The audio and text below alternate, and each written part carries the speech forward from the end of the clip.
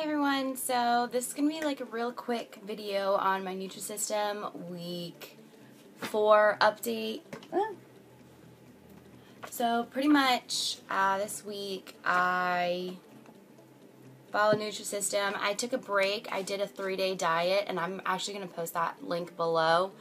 Uh, just because I was kind of craving ice cream and on the three-day diet you get ice cream. So dieting for me is more like a pick it and stick with it type thing. So pick what you're going to do and stick with it. Doesn't matter what you're doing, just pick it and stick with it. So for three days, I did the three day diet just to kind of get off Nutrisystem for a little bit. But I'm back on Nutrisystem, doing that, doing good. I, I don't know, no changes.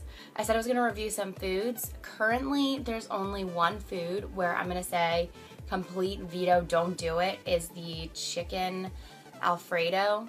Don't do it. It's disgusting. It's the worst thing I've ever eaten. It doesn't even look good.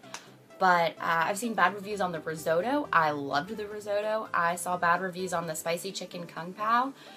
I'm 50-50 on that. I think I really like it. I didn't use the whole packet. It's basically ramen, but I didn't use the whole packet. So, uh, of flavoring, by the way. So I think it tasted fine.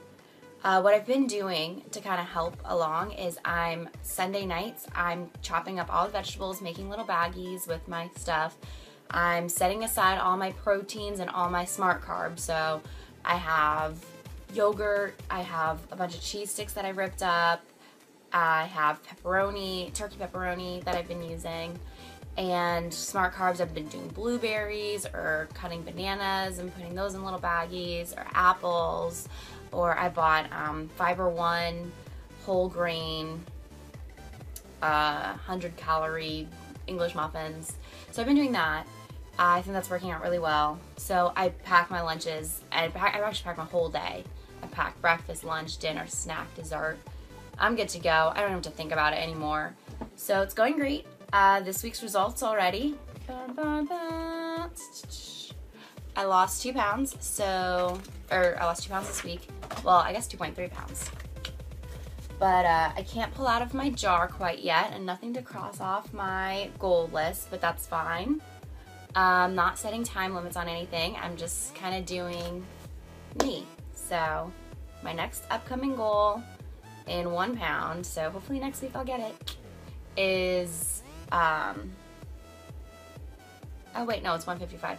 Is my haircut. I still haven't gotten that haircut, so I've just kind of pushed it back to 155. then at 150, I'll start whitening my teeth, which I know you guys say they kind of look white, but I'm super obsessed with my teeth. So, anywho, so then I am only six pounds away from the weight I gained this summer. Yay! So I will see you guys next week. Sorry this was like really quick. I'm headed to school. That's why I'm trying to get ready and whatnot, you know, bling bling. But uh, thanks for watching, and I'll show you my results next week. Bye!